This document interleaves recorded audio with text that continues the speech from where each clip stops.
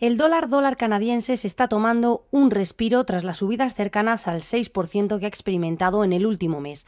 A corto plazo, el primer nivel de soporte lo encontramos en los 1.1031, cuyo abandono haría pensar en una corrección mayor. De producirse dicha pérdida, no descartamos que vuelva a cotizar cerca de las inmediaciones de los 1.038, precios en los que podría dar forma a un throwback. A medio y largo plazo, no obstante, su aspecto técnico es impecable. El cruce cotiza en las inmediaciones de los máximos de los últimos cuatro años y podría alcanzar el nivel de los 1,2 a lo largo de 2014.